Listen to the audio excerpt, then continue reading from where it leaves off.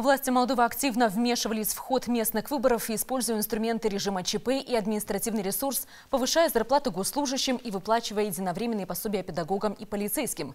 При этом через спецслужбы и решение комиссии по ЧС правящий режим всего за 48 часов до дня голосования снял с предвыборной гонки 8605 кандидатов от партии «Шанс». А ограничение свободы слова через блокирование работы телевизионных каналов и веб-сайтов с точки зрения международного законодательства по защите прав человека человека не представляют собой меры пропорционального ограничения свободы выражения мнений. Такие выводы содержатся в промежуточном отчете наблюдательной комиссии ОБСЕ на всеобщих местных выборах в Молдове от 5 ноября.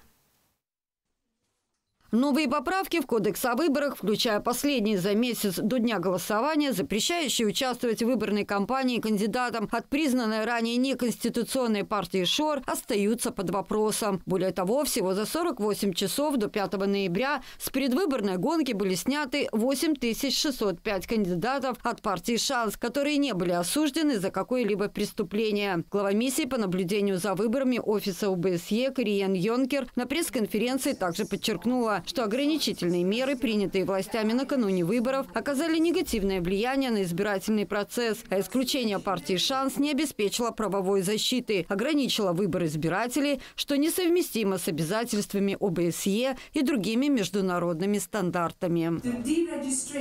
Отстранение всех кандидатов партии «Шанс» накануне выборов по решению КЧС не имело возможности обжалования, что ограничивало выбор избирателей и привело к тому, что в некоторых более мелких населенных пунктах пунктах были выборы только с одним кандидатом. У наблюдателей ОБСЕ возникли опасения насчет решения правительственной комиссии ПЧС во главе с Дарином Ричаном и не только в случае со снятием с выборов оппозиционных конкурентов, но и по поводу закрытия шести оппозиционных телеканалов и десятков веб-сайтов. По их мнению, власти через спецслужбы и комиссию ПЧС блокировали работу СМИ, однако эти ограничения были несоразмерны нарушением. В отчете эксперты ОБСЕ подчеркнули, что это не первый случай. В декабре 2000 2022 года комиссия по чрезвычайным ситуациям приостановила действие лицензии на вещание шести телеканалам из-за опасений, подозрений в дезинформации, угроз национальной безопасности и предполагаемый контроль этих каналов со стороны физических и юридических лиц, включенных в список международных санкций. 30 октября КЧС приостановила действие лицензии на вещание еще шести телеканалам,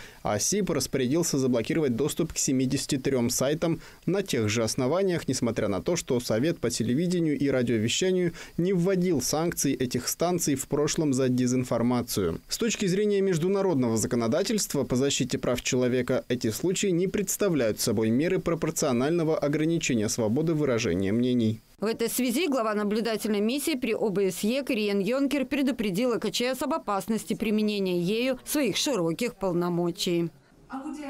Поэтому я бы подчеркнула, что комиссия должна использовать свои полномочия с максимальной осторожностью. Парламент должен эффективно осуществлять свои надзорные полномочия и принимать решения, влияющие на право на участие в выборах и ограничения свободы выражения мнений.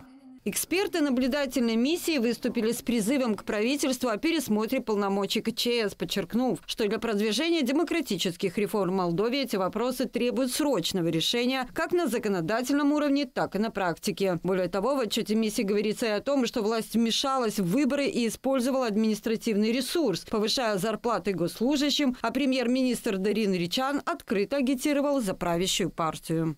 5 октября парламент принял поправки в госбюджет, выделив средства на повышение заработной платы 170 тысячам государственных служащих и единовременные выплаты учителям и работникам полиции. Премьер-министр в своем официальном качестве участвовал в избирательной кампании партии «Действие и солидарность». Такая практика стирает грань между государством и политической партией и противоречит обязательствам ОБСЕ. Досталась порция критики Центральной избирательной комиссии, которую ни много ни мало заподозрили в политической ангажированности. Большинство членов Центральной избирательной комиссии выдвинуты правящей партией, что способствует дисбалансу, который бросает вызов институциональной беспристрастности. Глава Генеральной миссии по наблюдению за местными выборами Бюро ОБСЕ уточнила, что окончательный отчет об оценке всего избирательного процесса будет опубликован через месяц после окончания избирательного процесса. Всеобщие местные выборы контролировали почти 200 наблюдателей миссии офиса ОБСЕ.